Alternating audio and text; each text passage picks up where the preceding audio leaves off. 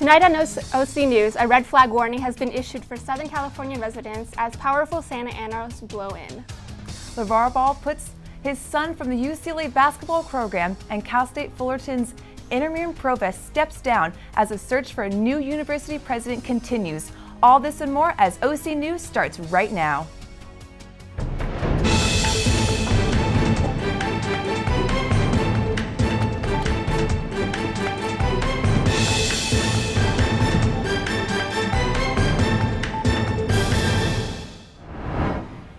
Welcome, and thank you for joining us here at OC News. I'm Stephanie Stevenson. And I'm Rachel Vito. OC News is brought to you by the broadcast journalism students here at Cal State Fullerton. Yet another change is happening at the top level of leadership for Cal State Fullerton. Interim Provost and Vice President of Academic Affairs, Anil Puri, is stepping down, effective at the beginning of next year. This comes after President Garcia's announcement last month that she will be leaving the university after holding her president position for six years. Puri, has been serving as interim provost since July 2016. Earlier this year, he removed himself from being a candidate as a permanent provost. He will now serve as director and dean of the Wood Center for Economic Analysis and Forecasting, President Garcia thanked Puri for his selfless service to Cal State Fullerton, and Garcia is confident that his decision will be the right one for him and his family. But here's the bigger issue. With President Garcia leaving the university, and now Puri has announced due to his inability to commit to the search of a new permanent president to replace Garcia, he will also be leaving. And with a new interim provost announced to hold his position, how will this how strong is the leadership at our university? And why are a majority of our administrators on campus interims on campus interims rather than holding a permanent position? We see a constant swap of interims being moved to other interim positions. Another example of this is Kareen Knutson Miller, who is Dean of the University Extended Education and Associate Vice President of International Programs and Global, Global Engagement. She has been appointed she has been appointed provost for a two and a half year term while the university searches for a new president. Knutson Miller starts in January and will be part of the search team for a provost to replace her current position by the end of the year. A fire ignited near a residential area on Riverside on Monday. The fire started as Southern California is under a red flag warning due to strong Santa Ana winds excuse me, the blaze was reported shortly after 1 p.m. at the intersection of Julian Drive and Crest Avenue. A dozen homes between Crest and Jurupa Avenue have been evacuated. 10 acres have been reported burned so far. And now an update on Orange County weather from our jolly holiday weatherman, Lucas Dare Magaguchian. Thanks, Stephanie. Hello, everyone. Happy holidays. It's great to be here on OC News again. Let's just hop right into it. We're going to skip all the national news today because we got some big things going on right here in Southern California. Let's go ahead and take a look at our five day. Tuesday is going to be 74. It was kind of cool for the beginning of the week. And then Wednesday, it's going to hop right up into the 80 degree temperatures. And it's going to stay like that all the way like for the end of the week until we hit 85 degrees on Saturday. But be prepared, those temperatures are going to be nice and cool in the evening. It was nice and cool last night. I had to grab my sweater as I was putting on my Christmas lights. So it's, it's, it's nice. We have a nice balance of warm and cool. So we're getting a little bit of those seasonal changes, but we're still staying hot. Now, if you're wondering why it's hot, it's because Santa Claus isn't coming to town. Not this year, ladies and gentlemen. No, we're getting the Santa Ana winds. That's right. We can see all the Santa Ana winds right here, especially in the Southern California area. And what's causing it, and I don't know if you remember, but I talked about the jet stream, the whoosh from last week. So the jet stream is pushing down the winds into the Southern California area, which is causing a red alert for the fires. That's why we see the Riverside fire going on right now, causing the evacuations. So be on the lookout. It's going to bring some pretty high winds, especially in the evening. Winds in non-mountain or canyon areas could reach up to 70 miles per hour, 80 miles per hour if you're in that, you know, coastal or canyon area as well. Let's go ahead and take a look at our current temperatures right now. 66 currently, it's going to get down to 50, 50 degrees, excuse me, by the end of the night. Winds 12 miles per hour right now. Those are those Santa Ana, wind, Santa Ana winds. Uh, humidity only 9%. Sunset 442 today. So just be on the lookout, ladies and gentlemen. The holidays are going to be nice and fun while you're enjoying yourself this week. Be on the lookout. You might see some downed power lines, some overturned trees, just because of those Santa Ana winds that will be carrying on all the way through Friday. That's all I've got for weather today. Back to the ladies at the desk. Over the weekend, an unsettling incident occurred on Troy High School property. Nathan McHugh is live on the scene with the latest. A part-time wrestling coach at Troy High School was arrested for allegedly having an intimate relationship with a female student. The suspect has been identified as Garrett Granger, 20, 20-year-old Garrett Granger. Police say he was found, uh, he was seen with the student on Friday by another employee of Troy High. If anybody has any additional information about the case, please contact Fullerton Police Family Crimes Detective L. Garcia at 714 738 6358. Reporting for OC News, I'm Nathan McHugh. Today, the Supreme Court is allowing President Trump's latest version of the travel ban to take effect the court voted 7 to 2 in favor of the ban, allowing the Trump administration to fully enforce the ban on travel to the United States by residents of six predominantly Muslim countries. Justice Sonia Sotomayor, along Justice Ruth Bader Ginsburg, both dissented that ruling, saying that she would have simply dismissed the case and allowed the appeals court decision to remain on the books. Monday's ruling isn't the final decision, but this action indicates that the Supreme Court might eventually approve the banning of people traveling to and from Chad, Iran, Libya, Somalia, Syria, and Yemen. In a statement, Attorney General Jeff Sessions called the court's decision a substantial victory for the safety and security of the American people. After the break, the drama continues to unfold between the Ball family and UCLA pro basketball program following the China stealing scandal.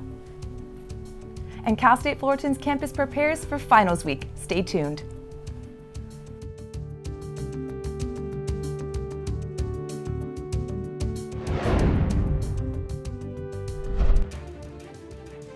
Take a look under your bed.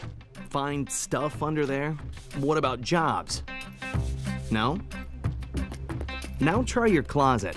Still no jobs? Just more stuff? Well, you really have both. See, stuff is defined as household articles considered as a group. Sometimes this stuff is no longer needed. Wait, no longer needed? That can't be right. Because remember those jobs you were looking for? Those are really needed, and they're the stuff inside your stuff. Our job is to unlock those jobs. And it starts when you donate your stuff to your local Goodwill. Here's how we do it. When you donate to Goodwill, we sell your stuff to provide job training for people right here in your community. So just by teaming up with Goodwill, you help create jobs. And isn't that worth parting with the leftover keytar from your 80s cover band? Goodwill. Donate stuff, create jobs. It was a star-studded night in Los Angeles last night with the Lakers in action. Let's turn to Frank Verdarte, who has more in sports. Last night at Staples Center, the Lakers took on the Western Conference foe, the Houston Rockets. Lonzo Ball and Brandon Ingram were ready to battle James Harden and the rest of the Houston Rockets crew. Harden didn't waste no time with a clear pass to the slam town. Looks like the Lakers forgot to bring their defense as Eric Gordon took it straight to the rim, and but Julius Randle came to ball and threw it down with a left-hand slam. Harden wasn't done cooking as he grilled a three in Ball's face. Lakers showed heart as Ingram connected with Ball with a beautiful alley-oop. The Lakers managed to cut the deficit to 12 in the fourth, but Chris Paul has something to say about that with some nice handles in a three. The Lakers showing off their young talent as rookie Kyle Kuzma sneaks in a right-handed slam. The Rockets came out victorious as the score ended 118 95. Harden scored 36 points and Kuzma with 22 points. Ball seemed to struggle, only scoring two points the entire game. In other basketball news, LeVar Ball told ESPN that he has pulled his son, LiAngelo Ball, out of UCLA. LiAngelo Ball, a freshman, is one of the three UCLA basketball players who were indefinitely suspended after a shoplifting incident in China. I'm going to, I'm going to make him a, way better for the draft than UCLA could have ever, said LeVar. UCLA coach Steve Alford issued a statement later Monday, quote, we learned today of LiAngelo Ball's intention to withdraw from UCLA, he said. We respect the decision and he and his family have made, and we wish him all the best in the future, end quote. You have to stay tuned for more info on all things related to the Ball family. That'll do it for sports. Back to Stephanie and Rachel at the desk. Finals week is just days away for Cal State Fullerton students, and the campus is providing accommodations for students looking for a quiet place to study. Reporter Abby Fernandez is live on campus with all the updates. Finals weeks is here, guys. I know. How did we get here? I don't know, but we're here. It's next week already. But don't worry, guys. ASI has this all night study series going on throughout this week and next week as well. So they've got you covered. They're going to de stress for you all sorts of things, guys. So check this out. There's going to be a lot of events. The first one is going to be Zumba. They're going to have some masterclass inclusively today and on um, the 11th of this month at 8 p.m. at the TSU Pavilions. Doors open at 7 p.m. for registration. They're also going to give a bunch of giveaways um, December 4th through the 11th, 10 p.m. to the um, 11 p.m. at the TSU Pavilions as well. They're going to have a candlelit yoga December 5th, 7:30 to 9 p.m. and also on the 13th, 6:30 to 8 p.m. at the SRC Dance Studio. Don't worry, there's more, guys. There's going to have there's going to be the Glow Ride for those people that like cycling, December 8th, 7:30 to 8:30 p.m. Also at the SRC Spin Studio, there's going to be some power naps because we need those guys. We certainly do. Um, from the 11th to the 14th, 2 p.m. to 5 p.m. and at night as well, 8:30 to 11:30 p.m. at the SRC Dance Studio. They're going to be uh, giving out some massages, guys. Yes, free massages, insane stuff. This is going to be on the 11th and on the 13th. On the 11th, it's going to be from 2 to 5 p.m. and on the 13th, 10 a.m. to 1 p.m. So three hours of that, and that's going to be at the TSU Fireside Lounge. That was the TSU Fireside Lounge. I said it twice so you don't miss out, guys, because those are free massages. There's going to be a prehistoric painting on the 12th of December, 6 p.m. to 8 p.m. at the TSU Underground Pub, so right underneath where I'm at right now. And um, laser tag, there's going to be a cool hangout for laser tag, December 13th, 6 p.m. to 8 p.m. at the Student Recreation Center, guys. So a bunch, a bunch of stuff. You can log on to the website and they're going to um, have it all there too. The TSU is going to be open 24 hours, guys, for your convenience friendliest place here at um, CSUF, of course, guys. So what can I say? Best of luck in the finals. Toss it back to you guys in the studio. Up next, popular makeup brands are being exposed for their animal testing tactics. And the fate of the Netflix hit show House of Cards has been revealed. We'll be back shortly.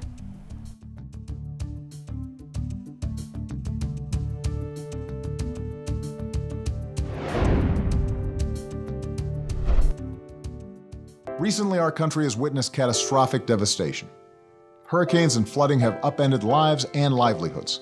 Across this great country, Americans have answered the call. That special calling that compels us, when others are down, to step up and do whatever it takes. America's at her best when, against all odds, we come together and lift each other up. Please donate to oneamericaappeal.org. America needs you. Thank you. Thank you. Thank you. Thank you. Thank you. Many consumers are unaware that some of our everyday makeup choices have a dirty little secret. Sarah Hidalgo has more on the ugly truth in the cosmetic industry. These products are really fun to play with every day, but what a lot of consumers don't actually know is some of your daily makeup choices are actually not cruelty free. Two years ago, H.R. 2858, the Humane Cosmetics Act, was introduced to the House in June of 2015. H.R. 2858 is to phase out cosmetic animal testing and the sale of cosmetics tested on animals. As of now, the United States is still one of the countries which allows companies who test on animals to sell their products in the U.S. Some makeup brands that consumers buy do test their products on animals when required by law. Companies like NARS, Clinique, Maybelline, and many others are not cruelty free meaning they test their products on animals using the Animal Welfare Act standards enacted in 1966 by President Lyndon Johnson. There are companies who have made their own ethical decision to become cruelty free and no longer sell to countries who require testing on animals. Brands like Lush, Too Faced, ColourPop, Tarte, Physicians Formula, and many others have opted out of animal testing. Ingrid Sod is a freelance makeup artist. I work for is very strict on cruelty-free makeup. We don't test on any animals. Even our makeup brushes are cruelty-free. Um, all of our packaging does include that. It has opened up my eyes for the makeup that I have for myself and for my clients. I like to provide the better one. When I'm in store, it also has brought so much awareness to clients. So how do consumers know if their brand is cruelty-free or not? There are a couple ways. One, your packaging might have a pink and white bunny logo on it, or you can visit the company's frequently asked questions And look under the Animal Testing tab. If you do see the words required by law, this does mean that the company tests on animals when required to. If you want to know more information, you can always visit crueltyfreekitty.com or PETA.com. For OC News, I'm Sarah Hidalgo. Now for an update on what is happening in Hollywood. Laura Quinton has all the details. A final season for House of Cards will happen without Kevin Spacey. Netflix content chief Ted Sarandos announced that the show will continue with Robin Wright as the focal point of the show. Quote, we are excited to bring closure to fans, unquote, said Sarandos at the USB conference. The final season will be just eight episodes and will resume production in 2018. The production was put on hold when sexual misconduct allegations against Kevin Spacey came about. What will become of Spacey's character is to remain unseen. Our condolences go out to Elton John and his family with the passing of his mother, Sheila Farebrother. She was 92. Elton John tweeted today, quote, so sad to say that my mother passed away this morning. I only saw her last Monday and I am in shock, unquote. His relationship with his mom was once cut off, but they resolved their differences and were back on good terms in 2016. On a lighter note, the TV show Dancing with the Stars came to an end, but don't worry, you will be able to catch some of your favorite pros on tour. Max and Val Chmerkovskiy and Peta Murgatroyd are going to be on live tour. Their show will be called Confidential, and tickets are available now on maxandvaltour.com. That's all I have for today. I'm Laura Quinton. Back to you in the studio. That's it for this, this week's edition of OC News. Follow us on social media at OC News CSUF for continual on the latest breaking news in Orange County. I'm Stephanie Stevenson. And I'm Rachel Vito. We'll see you next time.